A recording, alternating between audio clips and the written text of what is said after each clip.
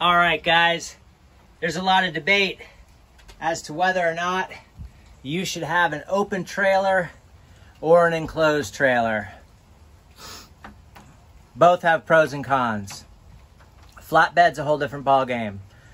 But I will say this here in Florida, it rains every day in the summertime. Well, you know, it rains a lot. And when you get stuck in a rainstorm, one of the greatest things about having an enclosed trailer is you've got change of clothes that you can get into. You've got a place where you can take a pee pee and you can get out of the lightning. Now, you can jump in your truck, but you're soaking wet. My truck is my daily driver, so I don't want to get my truck. I keep my truck immaculate, keep it really nice inside. And, uh, you know, when we work out here, we get dirty. So, um, the great debate is open or enclosed. And because I have this enclosed, I've got myself a cooler, whatever you need in there. There's all kinds of goodies. I've got my coffee. I've got a chair. I've got a place to hang all of my guns, wands, you know, your lances, your chemicals. That's full of chemicals inside there. That's all spare parts in there. Um, you know, everything is dry and out of the elements.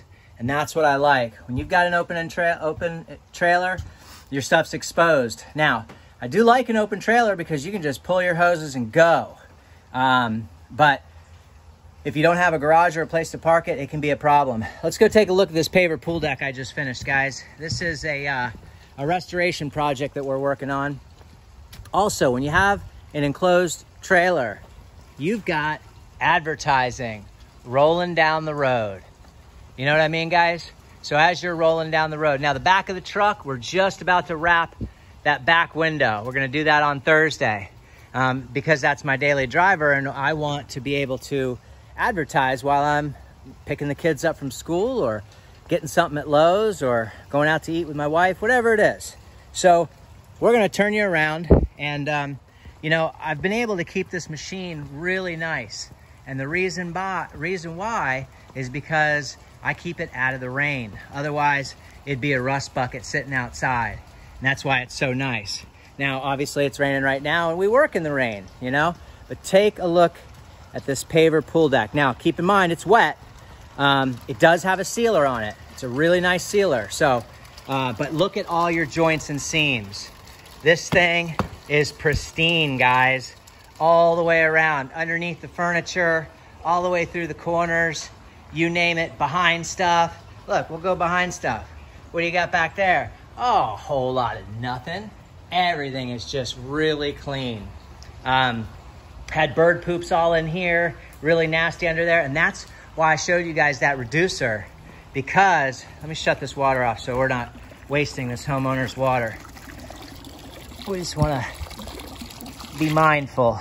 So, um, that DN10 reducer allows you to swivel and twist and get underneath things. So I brought you out here because I wanted to take a look at these pavers. Obviously you guys are in the business, you know they're soaking wet. So the real question is, what do they look like when they're dry? But what I'm trying to point out to you right now is all the joints and seams that have been cleaned, that are spotless, all the way up to the doors, you name it, corners, all around the place. So that is the pool deck and this is the video. We also did, you know, anything that he's got out here. That was all black and disgusting. We did all the way back, you know, to the pumps there. Um, this area over here was just full of sand and debris. Um, and uh, you can see it now, just totally clean, man. TNT pressure cleaning, dynamite service with explosive results. I treat every property as if it were my own. I don't leave until the job's done right. I book one job a day, guys.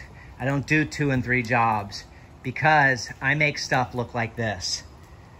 Did the thing outside, little wooden deck outside. But this is what I wanted to show you. Um, we did have some birds living in here and they've taken off. So you kind of got the basic gist. I mean, we've got, look, that's burn through right there. So you've got heavily, heavy oxidation and then you have aluminum showing. Um, this pool cage is in bad shape. Check that out. Oh, let's get focus. Can we get focused? I don't know. But so anyway, what we're gonna do next is we're gonna shoot the whole entire cage from the outside to the inside. Um, and it's got some height on it, but check those beams out. Look at that, guys. Is that nasty or what? So we're gonna shoot that next. This particular customer, um, let me wipe that off. This particular customer, uh, we are on a, um, a contract. And so every month or so, I come over and I find something to do at one of his many properties, whether it be an office building or whatever it is. Um, this home is being sold, and so uh, we're getting it prepped for sale. Um, and so, you know, I can come over, work a couple hours, whatever it is. And um, he's a really, really great person. I'm really grateful to have him. He's helped me uh, throughout the years uh, be able to purchase equipment that I would, wouldn't otherwise be able to have afforded. Um, and uh, so, customers like this I treat with great care, pride, and respect. And, and um, you know, like I said, we're going to blast all these leaves out of here. We're going to get all those leaves out of there. Um, we've got some gutters to clean. Check this out. Look at that gutter at the top there. You see that tree growing through there? I don't know if you can see it through the screen, but right there, there's a little baby pine growing out of the gutter. Um, if I spin you around here, you can see above this uh, house here, all of that, all those are leaves. That's all leaves that are trapped behind there. So next month, we're gonna jump up there, clean all those leaves out, get those downspouts functioning properly. We're gonna jump up and shoot all these beams here, get those all pretty, and uh, shoot the exterior part of the cage. Uh, but today's job was just to get this all lined out, you know, joints and seams spotlessly cleaned. Trevor Thompson, TNT Pressure Cleaning, dynamite service with explosive results. Thanks, guys. Have a great day.